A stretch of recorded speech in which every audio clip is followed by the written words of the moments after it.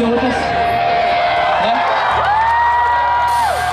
Things I can't change.